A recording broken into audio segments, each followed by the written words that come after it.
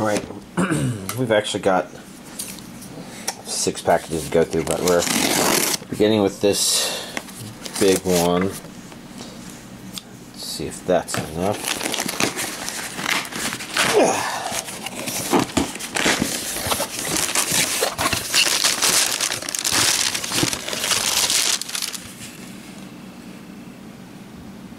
Sorry, I'm just wondering what, what the world I even got here.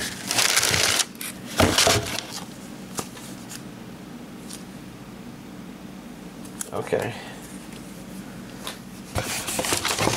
Still not entirely sure, but I do remember getting it. It just looks very different than what I expected.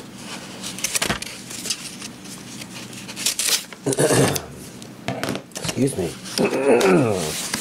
excuse me, excuse me. Um, what is this?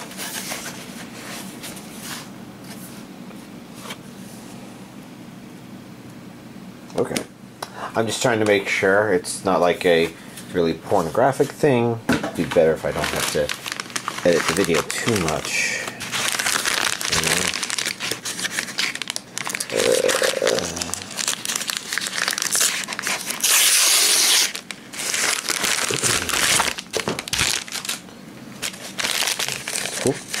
A little, been a little bit delayed, so it's nice to see that it's finally here. High priority to have. I did obviously already watch it on Crunchy Munchy, but uh, glad to finally have the physical copy. This is sticky. That's interesting to note. Wait a second. Oh, yeah, this one's hentai, but that's I think that was absolutely not for children yet.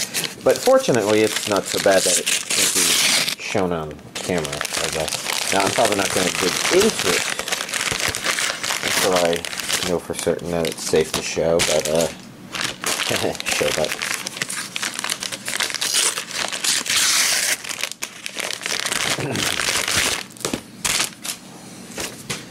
okay, that's a lot of packaging for pilots mod, more moderate in size. But yeah, so we got a hentai, uh, Shinobi Seduction. Uh, yeah. I think the back is kind of okay to show. But uh, yeah, this is uh, from uh, Kitty Media, so Media Blasters. Um, and also, before we get into this, we have, of course, Pokemon Scarlet and Violet. I did buy the two individual editions. I wasn't able to get the combined one, even though I thought I checked relatively early, but eh, it's okay. This is a Bleach 4-film collection. I do have all of these films already on DVD, but some of them I did not think I had on Blu-ray. Unless it was another 4-film collection, but I could not remember, and my searches did not reveal anything, so here we are. I do believe this is a two disc, whoa, two disc set. Sorry, and it's really weird because my hair is like decided to cling onto the handle of the um, thing. But yeah, two Blu-rays. A strange thing, but it's here now. If I did have these before, well, cool. I got doubles. Next up, we have Given. Uh, one of these is a movie, and they'll probably be the one there that says the movie, and this one, the animation, episodes 1 through 11. So presumably the... Hmm, different underneath the slipcover. And I'm pretty sure I don't have these already. The names don't ring a bell. The given names. Haha. I see regions A and B. There's an English Yes. They're taking the spotlight. Two discs.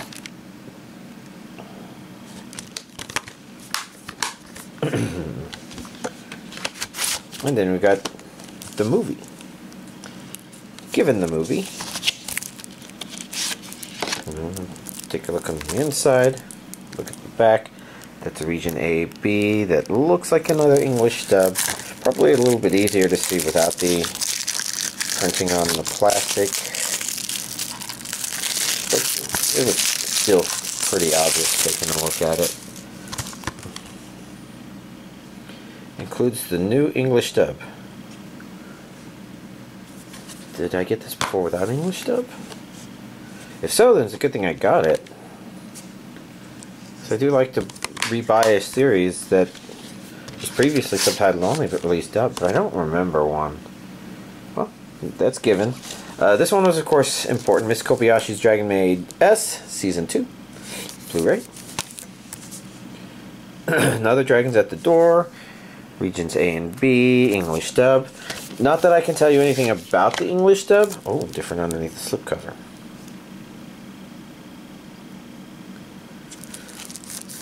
Because, like I told uh, y'all, okay, I think I can just use this. Just gotta be careful. Like I mentioned a billion years ago, Miss, Miss Kobayashi's Dragon Maid, I've avoided the English dub before because the characters were just too strong of a thing, and I kind of got the impression I should stick with the original Japanese with English subtitles that drove the world mad. And of course, you know, there's a reverse to that that I will talk about later. I already looked at the back of all this stuff. Let's look at the inside. That's this card. Okay, I was going to say, this only seems to have our main dragons, but there, there's the new one there whose name I forget. I'm blanking on most of their names right now. They're all pretty good characters, though. It's a great series. If you've not seen it and you've not heard me talk about it, I would say it's worth a watch. It's a lot more heartwarming and clever with its um, comedy. So if you didn't know, yeah, it's, it's, it's a good show. Very creative. Next we have Fruits Basket Prelude. From the past to the future. Uh, that's a region A and B, an English dub. Presumably, I finished collecting the series. I'm blanking right now. It should be right behind me if I have or have not. In fact, I wonder if this should be going in the bigger box with the other stuff.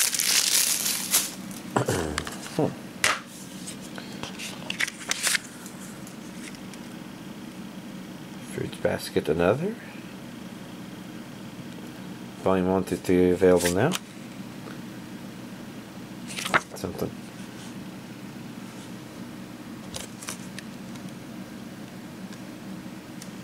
Hmm. It's pretty stuff.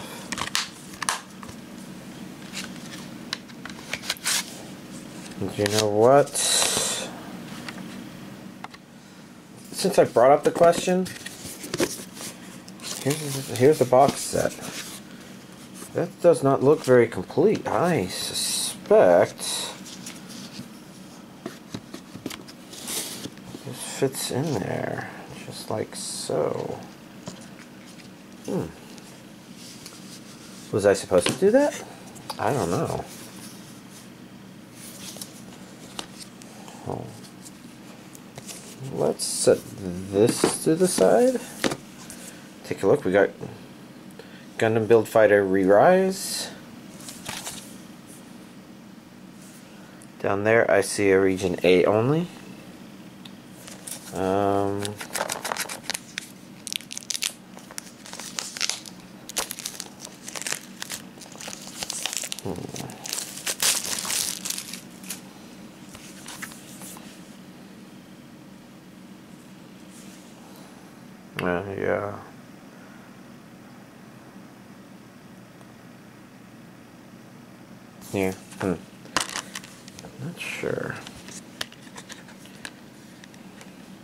sure I don't already have this. Sometimes it's really hard to keep track of what I do and do not have.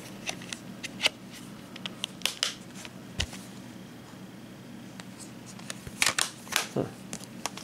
And then last but not least, we have Lord El-Melloi 2's case files.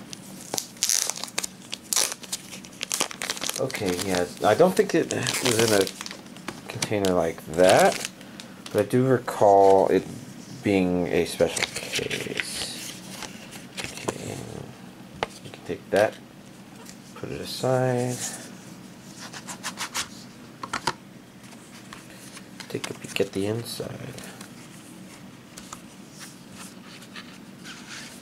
This P is special. Grey's Note special. Well, that's the Blu-ray, and this.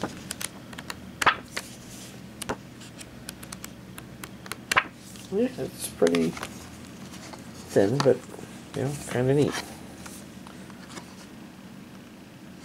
Good artwork in it. Not sure if there's much I know how to read. Alright. Here's this week's anime Blu-ray collection update. Alright, there's been a bunch of crazy stuff this week. But let, us begin with anime. Um, Spy Family episode 20. Definitely a better. I mean, the last one is again last week's thing where I had the issue with um, the one half story being the kind of story that's just like I would call a stinker because it's leaning so heavily on a joke that I feel you can't execute right, and that one didn't execute right, and whatever. Um, you know, this week's was better. Now, what exactly happened? That was fun what was the other half of it? I'm blanking on what the other half of it was. Uh, but I thought uh, this week's was pretty entertaining. I think still more not entirely um, relevant to the story just yet. But maybe starting to have little hints of things that are slightly more important, I would guess. Um, Beast Tamer, Episode 8. It kind of is. Um, what exactly happened in it? I'm trying to remember. I guess they set up some stuff. It's moving forward. It's continued to being an okay anime. Um, nothing that I would look at and say, oh yes, this is awesome stand-up. Other than, you know, it's kind of got nice characters. Hmm. I'm the villainess, so I'm taming the final boss, episode 9. So I was admittedly slowed down. And I'm not telling these in the order that I watched them. This one I literally just finished an hour or two ago. And only finished it because I had finally been... So, obviously, Pokemon's been a big distraction. Dead by Daylight's been a big distraction. But, you set those aside. I wasn't quite sure where they're going with episode 9. And I can't say that I completely feel great with where it's gone. Not that I feel like they had to do it a different way or anything like that. Just more like, I don't know. It's not as bad as The Walking Dead, but you know, I never finished watching The Walking Dead because after a certain point, I just felt beat down continuing to try to watch this series, I guess. Even though it had its awesome moments, something about it was just like I don't know. Like a feeling of a struggle that's going to go on for eternity and just it feeling exhausting. And I'm the Villainess felt sort of like it was maybe close to leaning in that. It's not exactly per se from an objective standpoint. Uh, this is, I think, just more my own. Something about it is tiring me a little bit and not enough for me to say, oh, I don't want to watch it, but enough for me to say, maybe I want to play Pokemon instead of watching it. Uh, Bocchi the Rock episode 7 actually was a pretty funny episode, I thought. Um, again, leaning much more strongly into the idea that it's really about an introvert and her problem adjusting, and it plays off that stuff pretty fun. I I think we've seen Bocchi's family um, a good amount, but this is the first time where we've kind of gotten something I would say it feels like a more genuine interaction and some of the jokes are jokes that I think are not unexpected, but they're executed pleasantly, I, I guess. Like, they're, they're just kind of amusing. And so I I'd say that was a good episode. Chainsaw Man, episode 6. Um, you know, it's continuing in this weird territory where it's like feeling a little more like Demon Slayer rules than what would been established as Chainsaw Man rules, but I don't know that the rules of Chainsaw Man had been really that well identified. This one does make a couple characters seem kind of eh, and I think maybe they're supposed to be. So we'll have to see what happens after episode 6, because episode 6 seems to be a deliberate, slow build up to episode 7, I suppose. I'll have to see episode 7 to find out. Uh, to Your Eternity, season 2, episode 3. Um, it's kind of gone in an interesting, unexpected directions. I, I think I commented last time that I appreciate the fact that the show does not feel like it's retreading grounds. Like, if there's one problem with it, it's that it's hard to tell that there's a feeling of going forward with it. Like, when I binge watched the entire first season, I just kind of remember it feeling like it goes moment to moment, not like it's building up to something. And I guess that's really important compared to something else. But, um, you know, that's to your turn. You see, episode 3 actually taking some interesting and continuing to be engaging, even though some of the stuff that I thought was maybe about to happen in the show, I'm like, I'm not sure if I'll care too much about this. Will it feel right? And so far, it's actually felt surprisingly interesting and refreshing. The show really does a good job of feeling like it's still the same show, but kind of moving forward without even telling what forward necessarily is. Uh, Irina the Vampire Cosmonaut, I actually only got to watch episode 4. Um, and the three main reasons for that are, you know, Dead by Daylight, Pokemon, and um, another anime series I'm going to talk about a bit. But uh, do I have anything to specifically say about episode 4? Uh, I'm trying to remember what specifically happened in it because it, I know I think I watched it earlier in this past week as opposed to later. And right now, I'm not sure what was episode 3 and what was episode 4. But I thought it was neat. I did want to see more of it. It looks like it kind of might be building up to something that's just very satisfactory to watch, possibly. But I, I'm not sure, and I don't want to speculate spoiler stuff too much, other than just you know, kind of talk about my general feelings. But unfortunately, I don't remember specifically episode four. I just remember episode three. I think you have a good idea if you're gonna maybe want to continue watching it. I think I might have said that. Uh, reincarnated. This is uh, reincarnated as a sword. Episode seven. Um, I'm still not sure how to feel about that, but it was definitely a bit of a twist. It felt like we learned more and got introduced to more stuff. Um,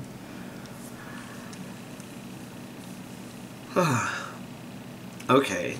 I think it was ending on that note, and it should be interesting to see where it goes from there. But the interaction with the character that they int they introduced at the previous at the end of the previous episode was surprisingly entertaining, even though they looked like an intolerable son of a bitch. But uh, I think that was the general goal. And because it knew that, and because it kind of had a plan for how it was going to play with that, it's been entertaining and interesting, if not making me kind of worried about if this is the way things ought to be, or something like that.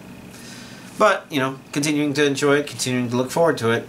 Um, and then, the big anime thing I actually watched this past week is uh, Made in Abyss, The Golden City of the Scorching Sun which I do believe is classified as season two, which would make sense because you had season one, then you had movies one, two, and three, with movies one, two being a retelling of season one, and movie three being the thing that's the actual sequel to the season one we had before, and then season two is a sequel to the movie three, but it's the second season. We all keep track of that? Okay, it's just Made in Abyss season two with a movie in between the seasons. All right, and I'd say it was definitely pretty good. Um, strange as fucking hell. But somehow, within the spirit of some of the weirdness that started being introduced into the series, and if there was any complaint I had about all of it, it would actually just be that it's hard to tell watching this season if you get a concrete feeling like there is some sort of meaning to it. You know, th- that's kind of one of those tricky things. Um, if you've ever heard of a J.J. Abrams mystery box, one of the main complaints about it is if your mystery box is just a mystery box, then you kind of go do that thing I was talking about where you kind of tire the audience, where they kind of are like, I thought you were about to give me something unexpected, but all you've done is say, oh, let's pretend there's something unexpected. And some shows are really funny with the way they execute things like that, but to actually do that is tricky and not necessarily going to work. Like, I completely gave up on Lost because I kind of felt like it was all mystery boxes with no meaning. And at that point, it's just like, why? And I think part of the problem is some people did guess some of the meanings, but then they decided they had to change it because people had majorly guessed it, I guess, which only just made it nonsensical as far as I'm concerned. But it still comes back to the fact that, you know, any interest I had in Lost waned when I felt like it would be too exhausting to continue to be interested in it. And that one is a problem of that show just having a continuous series of mystery boxes and no real resolution or answer, so to speak, as far as I could feel. And um, Made in Abyss doesn't feel like it's there yet. But this entire season takes place in a more stagnant way than the first season did and the first, uh, or rather the third movie although the third movie being a movie was understood to be a singular story arc, so it's strange and it's hard to tell. Do I get a good feeling of all the feeling going through this? And I don't know. I just know that there's something about it that feels consistent and it's messed up as fucking hell in a very strange and interesting and ultimately at the end of the season a cathartic sort of way. Um, I really liked the characters. Like I wasn't sure what I would think about them, but then um, it did a pretty good job of just saying, okay, yeah, um, these characters are all kind of interesting. I it's it has an antagonist. So antagonism is an important part of telling a story. And there are definitely what did I just say? Antagonists are having confrontation. Conflict is important, and usually this is from the point of view of protagonist, antagonist. And there's definitely antagonistic forces involved here, which isn't to say that there aren't antagonistic individuals, but rather the individuals who are antagonistic in this regard are also mm, supportive. And it's interesting because it's a delicate balance that could very easily not work, but in the end, it feels right. Maybe partially because in Made in Abyss, the true um, antagonist is the Abyss itself, and I, I, I was going to say, and its mystery and its perils, but I think those don't even completely encompass everything about it that makes it the true antagonist. It's a real force of nature that it defies our understanding, and even though there's some explanations for certain elements of it and how to deal with and handle some of them, at the end, the abyss is still this very mysterious thing. And I almost can't help but feel like maybe part of what makes the second season work is part of what made is kind of this feeling that would have been present in the first season. That's it feels like the abyss itself is working against the characters. And mm, I don't know that me saying it exactly that way perfectly encapsulates the feeling of the show as a whole. But it's definitely the right idea. It's kind of reminded me a little bit of the first Silent Hill game, where um, one of the things that made the very first Silent Hill game very entertaining and stand out compared to the other Silent Hills, including Silent Hill 2. And, and this is, you know, I found the first Silent Hill to be scarier, whereas Silent Hill 2 is just this more beautiful piece of art. But if I wanted a scarier one, the first one would have been the one I would point to. And part of it is when you play through Silent Hill 1, you feel like the town itself hates you. And I don't mean like buildings or the people or it's this abstract concept of the town itself somehow hates you. It somehow is out to get you. And well, that one definitely feels a lot more horror experience. You're being you're, the stuff of your nightmares being come true. Whereas um, there's something very different about the way the Made Abyss Abyss is feeling. But yeah, overall, I really enjoyed the second season. Um, at least my level of disturbed for it. Hmm, I, I guess I, I'm just trying to think if I can say that without it being spoiler, but I don't think I can. So let's just say I did have a dream that was definitely somewhat inspired by one of the concepts I took away from it, but it wasn't um, a specific idea from it so much as a kind of slice of one of the general ideas of one of the things it sort of had. Um, and I'm trying to remember if I can remember the dream well enough to even remember, because it wasn't any of that thing. It was sort of like being cursed, but while other people were suffering from the curse, I was spared from the curse because I just had to do a couple of things to alleviate my transgressions or something like that.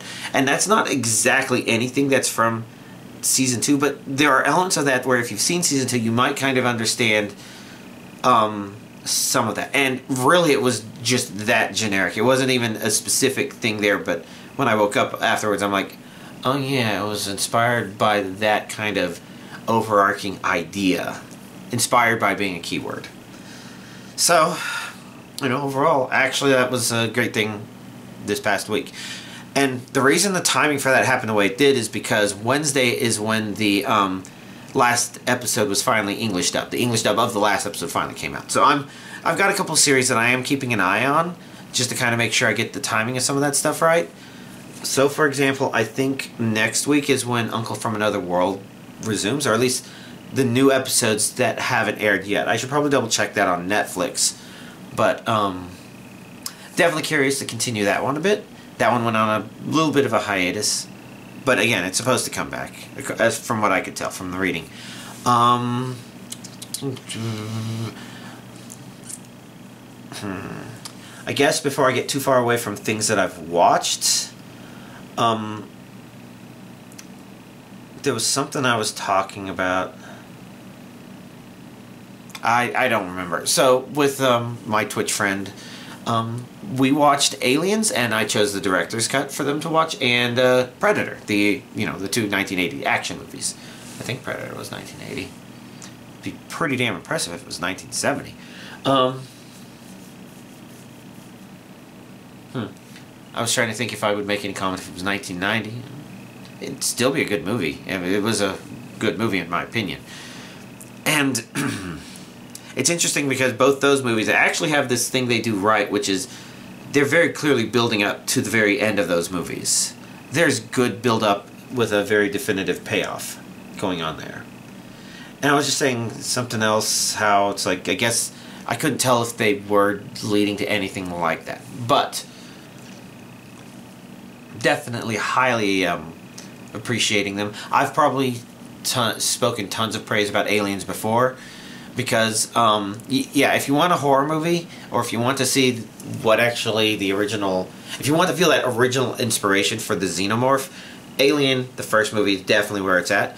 Aliens is definitely good for kind of understanding where it went from a franchise going forward from there because that one was definitely the more action thing. And a lot of the video games are definitely highly inspired by aliens more than alien simply because you know, it lends itself better to action. Which is also why the best Alien game, which is Alien Isolation, is more highly inspired by the very first game, or sorry, the very first movie. But overall, you know, I've said all this stuff before. I really love Aliens. If there's anything about it that I would say is objectively better than Alien, it's that it is a objectively better story because it's it's got theming that it is designed to build up to and it builds up to it. It's it's not even a subjective. Does it build up to it? The subjectivity is whether or not that objective stuff uh, aligns with you or not. But it is objectively a story that is told to be built up to that thing at the very end. And in a way, Predator kind of is too. Uh, it isn't exactly because it's also supposed to be a um, kind of a turning on the head the '80s action um, idea but when you watch Predator, you kind of understand why they really should have only made that one movie. Now, that said, if they didn't make Predator 2, then we wouldn't have had Bill Paxton in that movie, and that would be a shame. And maybe Predator 2 is kind of entertaining in its own kind of um, way, I suppose. Like, I don't feel like anything about Predator 2 necessarily shat on anything previously. I'm not sure if the later Predator stuff I could even really say did but I guess I probably have to watch it again. But if you liked Predator 1, I don't know that you'd necessarily like Predator 2. But if you were fascinated by the ideas behind Predator 1, maybe Predator 2 would be worth exploring. But as it is, it was kind of neat to watch, especially since, um, you know, this is my Twitch friend, and she plays a lot of Dead by Daylight, and this would have been her getting to see definitely one of the major inspirations for the Wraith. Now, Obviously, Dead by Daylight's Wraith character isn't exactly the Predator, but it is definitely clearly inspired by the same idea. It's like, oh, what if you're being hunted by this invisible thing? Well, Dead by Daylight has to balance that out in a certain way, so that's why he doesn't attack you while he's invisible or anything like that. He's not a space creature because that's not the kind of lore they're going for. Uh, things, strange things like that. But again, it comes down to, oh yes, they're both about this shimmering shape trying to hunt you down. And if you needed any more hints, one of the Wraith's perks is Predator. Um, but yeah, inspiration isn't a copy or anything like that. It's definitely the sort of thing where like, I can appreciate that. Especially since Wraith needs a bit more. But, okay, Dead by Daylight. Um, one of the reasons that's been a big important thing this past week is because today, you know, because it's past midnight right now, so it is Tuesday, November 22nd. This is supposed to be the release day of the next chapter in Dead by Daylight, which introduces the next killer and the next, next survivor. so, preparation going for that. For those of you not into Dead by Daylight, you might be asking, what's there to prepare for? Well, um, if I haven't mentioned before, Dead by Daylight is a game that doesn't necessarily demand, but if you really want to have ultimate freedom to do anything you want in the game, you need to grind like fucking mad. Like, and it's fortunate that the grinding of the game takes the form of actually playing the game and not like some oh well instead of continuing the story of this RPG we have to fight the enemies in this one area. Every time. No, you're going into trials, facing killers. Everybody's doing their stuff the killers are facing survivors sometimes, whatever. Everybody leaves with blood points to upgrade whatever they want to. You can take your killer blood points and spend it on survivors, your survivor blood points and spend them on killers. Okay, so um, one of the reasons this still would have been a thing if um, the, they hadn't changed the way um, perks were leveled up or unlocked or both but they did change those and it's fortunate because at this point since i'm playing catch up at the tail end of the idea of what that's supposed to super highly support the idea is you know every killer has three perks. Every perk has up to three levels and every killer in the game can have their own copy of each of the levels of each of the perks. So you know you could unlock all the tier 1 perks and then go to a killer that you've never leveled up and then he'll just have to level absolutely everything up. He'll get tier 1 in the blood web, tier 1, tier 1, oh, here's a tier 2 of one of the tier 1s, and then eventually they'll stop getting perks in the blood web because um, they'll finally have gotten all the perks and all the perks upgraded to tier 3. And if you're if you've never played and that's complicated, if that as long as you understand that just sounds like it's a lot of stuff, you're right. So what they changed is it used to be that for a killer you would unlock their perks so that other killers could find those perks in their blood webs. Now, you unlock levels of the perks when you prestige them. That's basically you reach level 50 and go back to the reset point. You know, it keeps track of how many times you do that reset, and we call that prestiging. But um, instead of you get the option to unlock them at specific levels for other killers, instead it is once you reach um, 50 and you prestige once, then a level 1 version gets automatically put onto absolutely all killers. And you could go to other killers and level them up and upgrade individually tier, tiers 2 and 3, and that's okay. But if you reach the point where you have all the killers, um, the survivors applies there. If you have all the killers to prestige 3, that means all of their unlockable perks are at level 3 on every other killer, and then when a new killer comes out, all you have to do is focus on getting that one killer up to Prestige 3 to unlock his perks at the highest level for all the other killers. So it's something that doesn't help you a lot if you're focusing very narrowly. It helps some, but not a whole lot. But it, it doesn't remove enough flexibility such that um, you can't do that focusing right? It, it still has some flexibility there. There's just a little bit more, so you can't go, oh, I only want this person's perk, which used to show up at level 30. No, you have to go to 50 and prestige them once, and then their perks are unlocked. Or you get lucky and it shows up in the Shrine of Secrets, where you purchase it and then everybody has it. I know, complicated. But again, once you reach a point where everybody has almost everything, like if they have all the unlocked stuff, then when a new killer comes out, all you have to do is focus on that one killer. Okay, so I'm at that point where all the survivors and all the killers are prestige 3 for me. So all of their unlockable perks are unlocked at the max level on all survivors and all killers. So when a new chapter comes out, I just have to level up the survivors and the killer. I said survivors, and sometimes they can be plural, like the Resident Evil had two survivors, Rebecca and Ada. Um, this one only comes up with one new killer and one, uh, sorry, not, new isn't the word I wanted, uh, one, um, it's a non-licensed, so basically means it's a character that Behaviour themselves have created. So one non-licensed killer and one non-licensed survivor. So the idea is you want to work in advance to save up as much blood points so that as soon as it comes out, you can dump as many into that character as you want to try to get them to the right level so that they're not only completely playable, but their unique stuff is available on everybody else. You have to do that for killer, you have to do that for survivor. Um, Okay, you said, so just save up as much blood points. Well, the thing that makes that tricky is there's a blood point cap. You can't go above the cap, but it basically requires things that the game forces on you. So like when your ranks reset at the, um, I guess it's not rank reset, it's a grade, when your grades reset on the 13th of every month, um, you get a bunch of blood points automatically given to your account. That is not limited by the blood point cap. So you can blow past it. And some people have done that and they have crazy amounts of stuff because they have nothing better to do with their blood points. Fine for them. But I'm nowhere near being able to do that, and I don't know if I ever want to be able to do that. But as I get closer to that, um, you know, I'm, I'm still limited by that 2 million blood point limit. And to give you an idea, that might allow me to prestige um, a killer or survivor maybe twice.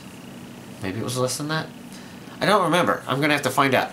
So the other thing you do is there's challenges. You have your daily challenges and you can only have three of those at a time so that doesn't net you a whole lot but does mean the past three days I've finished three daily challenges I'm just waiting until I spend blood points on the chapter before I then go in and um, um, get the blood points for those dailies and then spend those on the characters. So you got those, but then when you got your tome challenges, which are challenges you select and complete, when you complete those challenges, you don't have to immediately redeem them, but you do generally want to progress through the tome, so you will select certain ones and leave others unselected. This is the first time I've ever had a metric shit ton of unclaimed blood points in there. And it's tricky because I'm going to continue claiming blood points. Um, like, I'm not going to necessarily save stuff up just because of this came out and I've done stuff and there will be a future one. Mostly because um, I still need blood points right now to make progress as it is. So hopefully, yeah, that problem will be saved in the future. Because normally I've also saved my iridescent sh shards for um, redeeming perks that I already have from the Shrine of Secrets. Which if you already have them, then it's just free blood points. I say free. It's just blood points.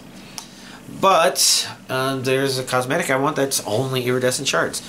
Because um, it's it's Bill from Left 4 Dead. He's a character in Dead by Daylight, and because he's owned by Valve, the way Valve does the licensing is they don't want people to spend real money on their licensed out Left 4 Dead characters which is neat. But of course, it makes uh, somebody like me that has a fucking hole in my wallet um, unable to spend money to um, just get that. So I have to grind the cosmetics the slow, old-fashioned way. So that's Dead by Daylight, and as you can see, it's very complicated because of today. But to make things even more complicated, um, Pokemon um, Violet and Scarlet came out, of course. Woo! And if y'all are curious, I went for Violet. I'm going to take a guess that I get the feeling that Violet's maybe a more common choice. Not that Scarlet isn't without its plus sides. Like I think the uniform in Scarlet actually looks a lot better than the uniform in Violet.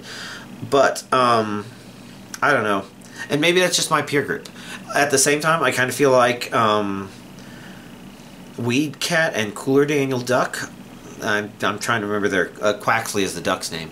Um, if they're maybe the more common starters, and maybe the fire starter is a slightly less common.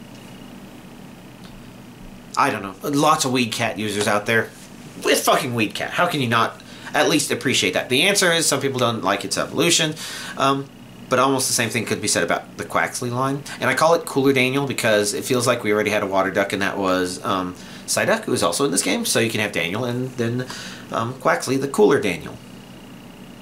And I think Golduck also tended to be a little on the physical side, but I could be mistaken.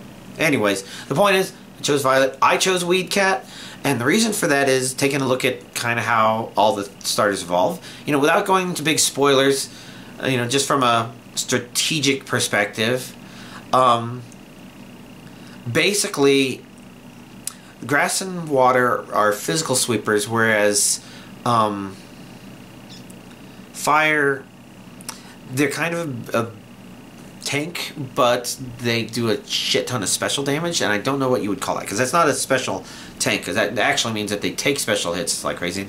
Don't remember that, that stat is one that um, the fire starter actually has. But the point is, you know, if you take a look at those, I'm a bigger fan of playing through story mode using sweepers, and so that immediately eliminates red. And then taking a look at um, you know, water and grass. Grass actually learns a wider variety of stuff, in my opinion, whereas um, water looks like what you kind of want to get out of them limits you to three types of attacks, and I really like to try to get a rainbow of attacks.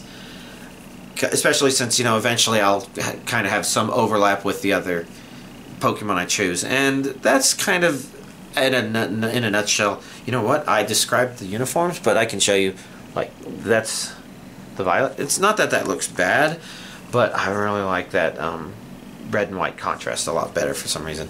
Anyways, you know, it's it's all stuff, and there is something later on the game that is the main reason I'm like, I'm going to choose violet because of that.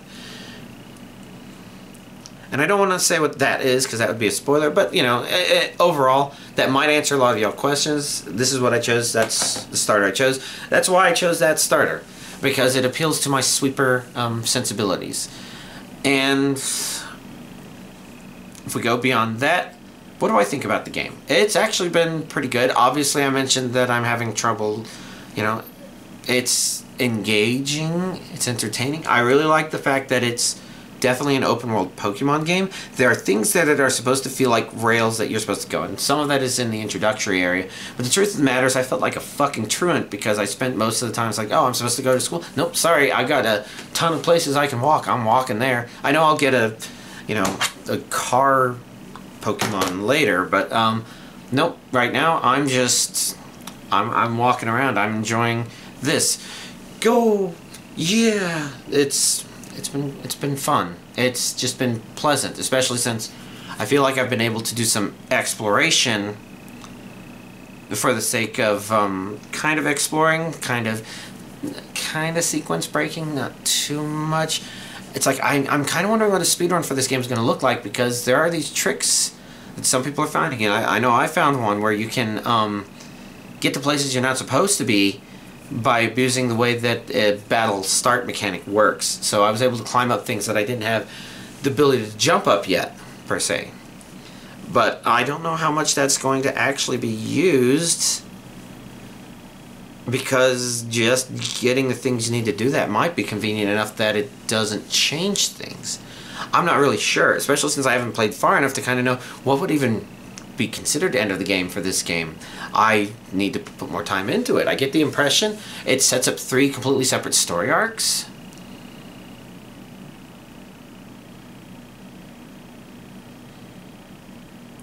I'm just trying to think if I can describe them as something that's analogous to past games. And at least two of the things definitely are, but one of them I'm not sure is. And that makes me wonder, hmm.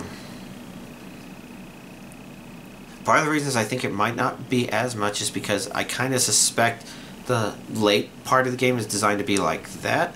And I'm not there yet, but at the same time, I, I feel like I need to make sure I make pro progress in that degree, but at the same time, I don't need to try too hard. And unfortunately, you know, I'm designing a team based on, okay, now if only they had this, this, and this, then they'd be exactly what I want. And so it just has me kind of spending a lot of time spinning my wheels, so to speak. But that said, it's very interesting. The game um, has changed the obedience mechanism. So, in historical Pokemon game, um, as long as you were the original trainer for a Pokemon, it would um, behave, it would follow your orders no matter what.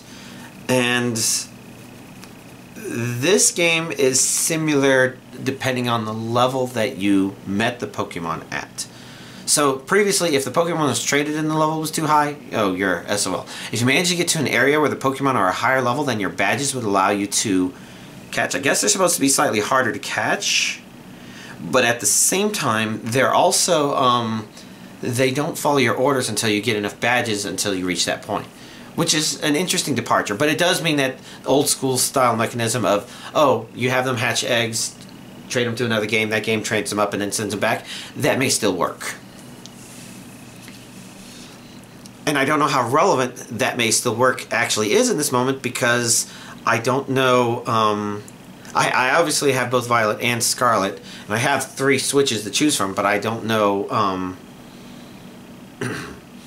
my plan exactly. I just know that I'm going to use Scarlet to at least get the Fire Starter and get a copy of that, but I'm not going to even worry about that until I find some Dittos, which I think I know where they are, but at this point I'm not sure if I'll know how to tell that I've definitely seen a Ditto, because I have some sneaky suspicion this game has done some really fucking sneaky stuff.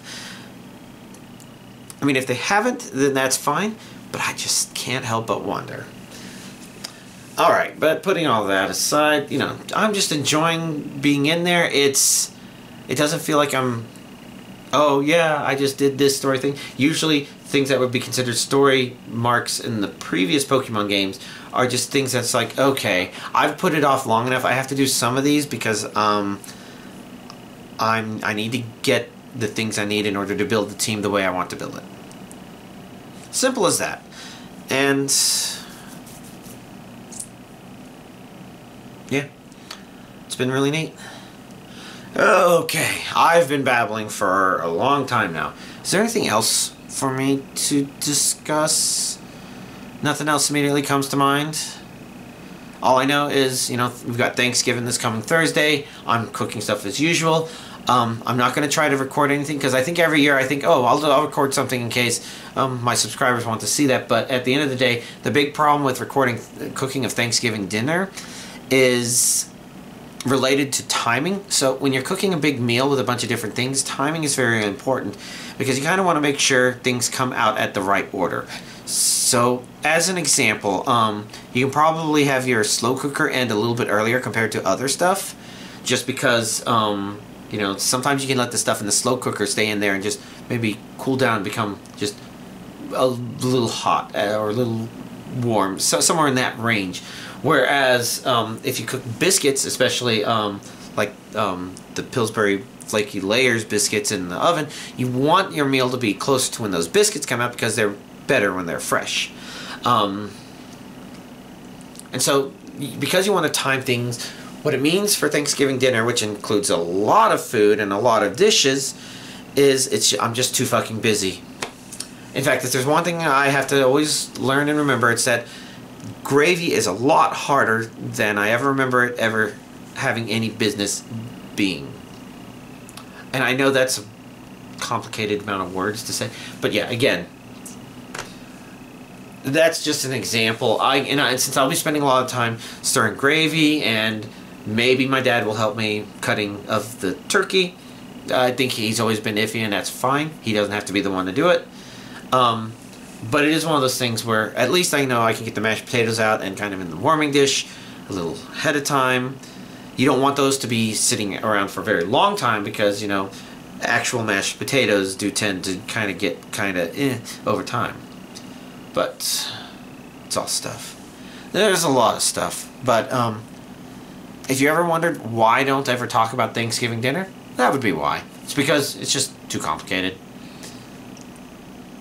Not too complicated as in like y'all don't deserve to have the time, but too complicated as in like in the moment I have to finish that dinner so that I have Thanksgiving dinner, my parents have Thanksgiving dinner. If we ever have any guests, they'll have Thanksgiving dinner. Um, so instead it would be better if I just did like the individual components of it that build it up. Although the turkey stuff is kind of hard. But then again, the way I cook the turkey is similar to the way I cook uh, chicken breasts. And I haven't done that in a while. That would be kind of nice. It's just that that's a too huge of a quantity. But I digress. Anyways, the point is, um,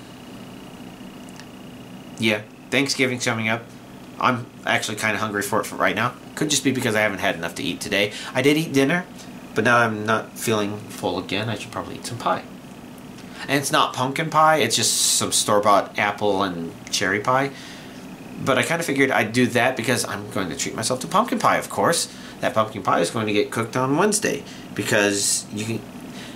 I, I think I've mentioned in my pumpkin pie video. It's I think there's two points in time when you should eat pumpkin pie. It's either after that couple of hours cooling down after you've taken them out of the oven, because it tells you to either serve then or you serve after some chilled in the fridge.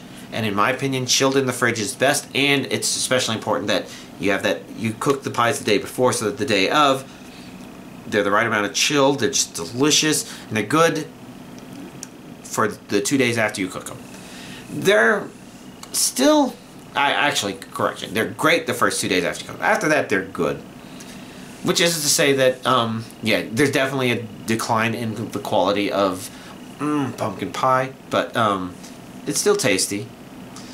So, lots of thoughts to keep on mind, to keep in mind, and I have to start paying attention to that stuff because I'm going to have to do dishes, keep on top of stuff. I can't sleep in on Thanksgiving Day. I'll have to actually wake up at a specific time.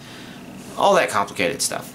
But I have Pokemon between now and then. So, hopefully, y'all have been enjoying all these things or enjoying hearing me talk about these things, these anime, these video games, all good things. I forgot to talk about Rick and Morty Season 6. The latest episode was a funny episode. Um, definitely not an episode you're supposed to take very seriously because it's super meta, like super ridiculously meta, but do a fun Rick and Morty kind of way. It's entertaining, very entertaining. Okay, yeah. I think that off officially wraps everything up. Y'all, have a nice week.